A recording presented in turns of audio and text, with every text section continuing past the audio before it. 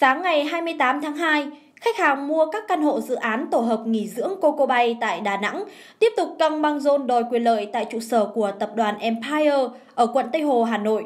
Đây là lần thứ ba khách hàng Coco Bay tập trung tại trụ sở của công ty Thành Đô, yêu cầu Thành Đô bàn giao Condotel đã quá hạn cam kết bàn giao và thanh toán tiền theo đúng hợp đồng ký kết với khách hàng. Sunshine Group, nhà kiến tạo phong cách sống thời thượng.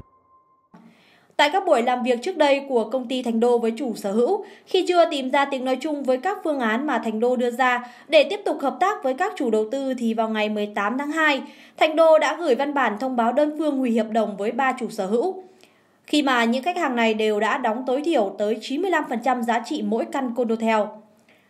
Đồng thời, công ty này cho hay nếu sau ngày 25 tháng 2 mà các khách hàng trên không đến làm việc, Thành Đô sẽ không chịu trách nhiệm về các vấn đề phát sinh liên quan đến hợp đồng mua bán và quyền lợi của khách hàng. Sai phạm của Thành Đô thì quá rõ rồi. Chính vì thế chúng tôi cũng là rất thiện trí và rất là lịch sự đề nghị Thành Đô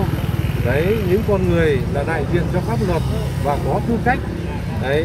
là để đối thoại với chúng tôi tất cả mọi cái giải quyết chỉ thông qua con thì đành rằng cho đến giờ phút này thành đô là sai phạm hoàn toàn chúng tôi không có gì sai phạm cả. Bởi vì tiền đã nộp hết à, 95% nhưng thu nhập cam kết là đơn phương thành đô chấm dứt. Điều thứ nhất. Điều thứ hai không bàn giao nhà và cũng không có ý định trả lại tiền cho chúng tôi cho đến giờ phút này. Thế còn chúng tôi muốn tìm giải pháp tốt đối với thành đô là mời thành đô người có thẩm quyền và trách nhiệm để đối thoại với chúng tôi tìm ra cái giải pháp tốt nhất nhưng thành đô lại tránh và thực ra mà nói là cái sự bực dọc đó nó đến tột cùng rồi. Và để đẩy cho nhiều chủ sở hữu ở đây tức là người mua nhà là đẩy vào trường hợp là nợ nần vốn khó. Đáp trả lại động thái đơn phương chấm dứt hợp đồng của thành đô các chủ sở hữu condotel đã ký đơn đại diện cho hơn 450 chủ sở hữu căn hộ khách sạn gửi tới các cơ quan chức năng để tố cáo và kêu cứu khẩn cấp. Các chủ sở hữu cho biết, cùng với việc quảng cáo dự án rầm rộ và cam kết lợi nhuận tới 12% trên một năm trong 8 năm đầu tiên với khách hàng sở hữu condotel, nên đã thu hút người mua căn hộ với giá cao hơn so với mặt bằng thị trường lúc bán. Theo nội dung đơn tố cáo trên, các chủ sở hữu nêu ra những sai phạm của chủ đầu tư, trong đó đáng chú ý là các sai phạm như Công ty Thành Đô có dấu hiệu lừa dối khách hàng bằng việc vi phạm điều khoản ký kết tại hợp đồng, vi phạm về thu tiền vượt quá quy định, sử dụng tiền đứng trước không đúng mục đích đã cam kết và vi phạm không phát hành chứng thư bảo lãnh, bàn giao nhà ở hình thành trong tương lai theo quy định luật kinh doanh bất động sản, chiếm dụng vốn của khách hàng, bán sản phẩm không có thực. Yêu cầu Thành Đô nghiêm túc thực hiện đúng hợp đồng mua bán bởi vì chúng tôi căn cứ vào cam kết trả lợi nhuận 12% một năm cho nên chúng tôi thời điểm đó mới mua với cái giá cắt cổ của chú thành ờ, thành đô là 49 cho đến 60 triệu một mét vuông thời điểm năm 2016 đây là cái giá đã bao gồm thành đô tính về tất cả chi phí và lãi trả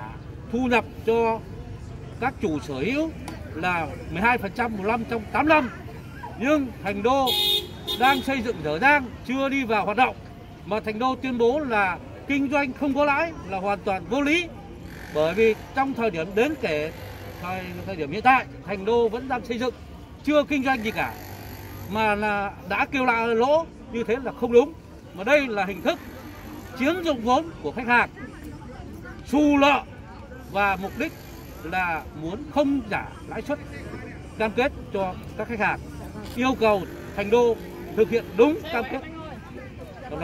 Phải chăng công ty Thành Đô đã dựng lên một kịch bản được dàn xếp từ trước để lừa dối khách hàng khi áp đặt đưa ra giải pháp thu thêm tiền từ khách hàng?